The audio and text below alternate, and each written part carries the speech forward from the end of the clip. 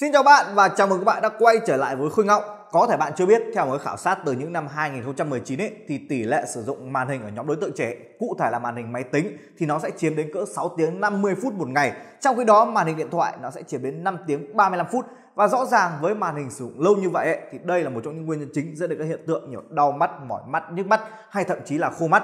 Và đây cũng là một trong những lý do mà khiến những nhóm người dùng trẻ rất là trẻ thời điểm hiện tại nhá, nhiều trẻ con chẳng hạn tỷ lệ bị cận gia tăng lên rất là nhiều. Bản thân mình cũng là người tiếp xúc thường xuyên với thiết bị điện tử ví dụ như là màn hình iPad, màn hình laptop, màn hình iPhone thì mình thấy rằng ấy nó lâu lâu cũng sẽ gặp những hiện tượng như vậy. Và thời gian gần đây thì mình có tìm hiểu thêm về các thiết bị như kiểu là massage mắt chẳng hạn để giúp cải thiện cái hiện tượng đó là đau ở mắt cũng như là chúng ta tìm hiểu thêm về các thiết bị thuốc nhỏ mắt. Thì mình nghĩ rằng ấy, có một cái mẫu máy khá là hay, mình vừa tìm được. Đó chính là máy massage mắt này. Và sau một thời gian sử dụng ấy, cũng như là trải nghiệm, mình sẽ chia sẻ bạn những cái trải nghiệm của mình. Về em, máy massage mắt kinh tech này nhá.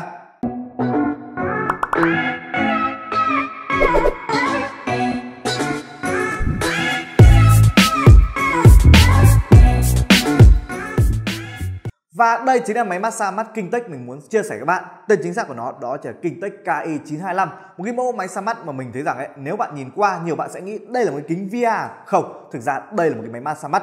Và cái ngoại hình của nó ấy, thì tương đối là giống những cái thiết bị như chúng ta xem trong bộ phim viễn tưởng vậy. Nhìn thì nó to to như vậy thôi, nhưng mà thực ra em này hóa ta thể gấp gọn lại, có thể dễ dàng mang đi những cái mà chúng ta mang đi du lịch, chúng ta nhét túi sách để đi chơi, nói chung là thoải mái luôn. Em này thì mình thấy rằng gấp lại tương đối tiện và chúng ta sẽ được tặng kèm thêm một cái túi vải ở trong hộp nữa để các bạn thể dễ dàng chúng ta nhét vào, tránh hiện tượng như kiểu kính này nó bị xước cũng như là bị dễ dàng bị va đập với kính này nhá thì chúng ta sẽ có gồm các phần chính. Thứ nhất đó chính là cái phần dây đeo đầu đây để bạn thể dễ dàng lồng vào. Tiếp theo chúng ta sẽ có hệ thống những túi khí ở phía bên trong này, cũng như là cái phần này nó sẽ đệm một lớp vải để bạn dễ dàng chúng ta đeo vào không bị khó chịu quá. Cái túi khí này sẽ bơm phòng mỗi khi chúng ta đeo vào chúng ta massage. Còn ở phía bên ngoài này sẽ là cái lớp vỏ nhựa. Đồng thời các bạn sẽ có ba cái phím để thao tác đây để tùy chỉnh cái chế độ cũng như bật tắt máy. Nhìn nó to như này nhá, nhiều bạn sẽ nghĩ em này chắc nặng đúng không? Thực tế là không các bạn ạ. Nếu bạn nào đã tìm hiểu qua những kính VR rồi ấy, sẽ biết rằng trọng lượng của nó có khoảng tầm 350 g và nếu mà chúng ta nhét thêm một điện thoại trọng lượng có tầm 160 g ấy thì tổng trọng lượng của nó sẽ cỡ khoảng tầm nửa cân, cụ thể 500 g. Còn với em này, trọng lượng của nó rất nhẹ nhá, sẽ chỉ là 333 g mà thôi. Và khi mình đeo vào ấy, thực sự cảm giác rất thoải mái, nó không bị nặng nề quá hay bị khó chịu quá. Một số cái mẫu máy nó nặng quá ấy, thì chúng ta sẽ bị hiện tượng đó trời trúc đầu xuống. Như em này chúng ta sẽ không gặp phải hiện tượng đó.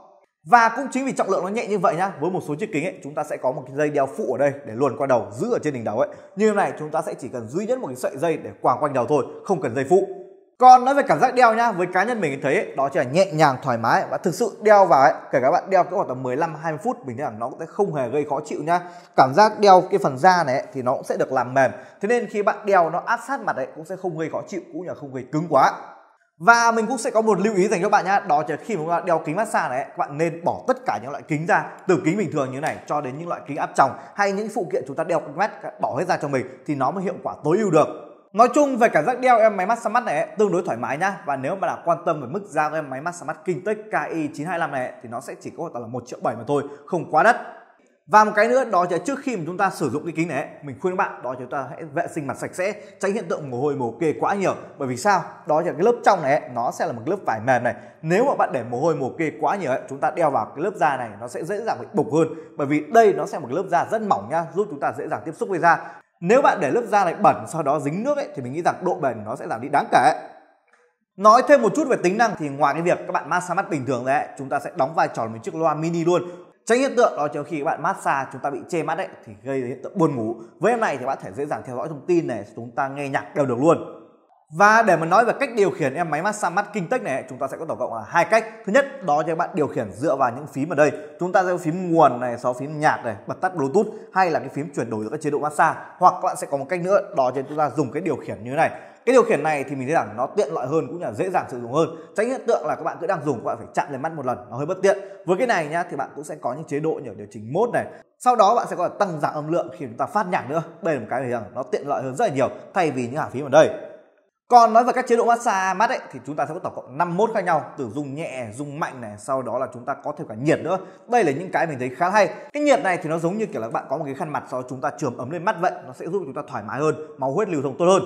Các chế độ ở đây gồm có êm dịu, mạnh, thư giãn, đánh thức và ngủ ngon. Mỗi chế độ ấy sẽ là sự kết hợp của túi khí cũng như là nhiệt giúp chúng ta có thể thoải mái hơn. Cá nhân mình thì thường xuyên sử dụng chế độ êm dịu vì nó khá là thoải mái với nhu cầu của mình.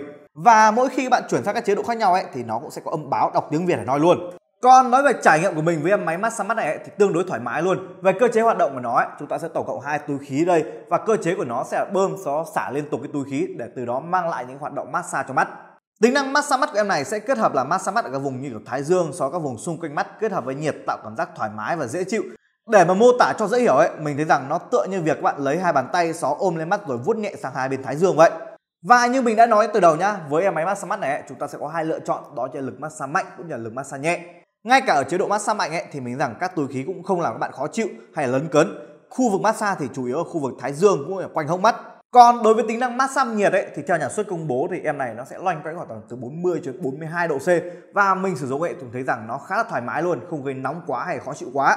Để mô tả dễ hiểu nhá thì nó giống hệt việc các bạn lấy một cái khăn mặt này sau chúng ta dâm nước nóng sau trườm lên mắt tương đối thoải mái.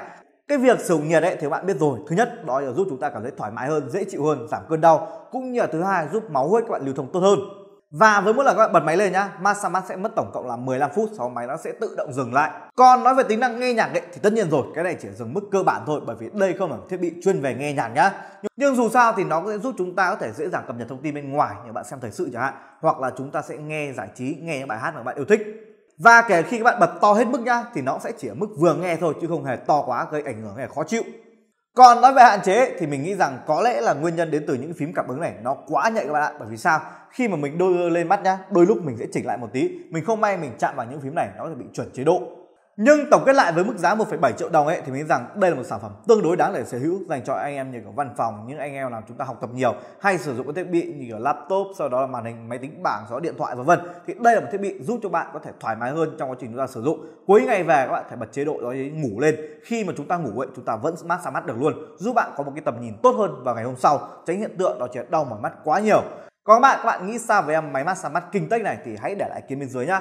Còn bây giờ xin chào lại bạn trong các video sau. Bạn muốn mua ấy, link mình cũng sẽ để bên dưới phần mô tả bạn dễ dàng tham khảo. Còn bây giờ bye bye.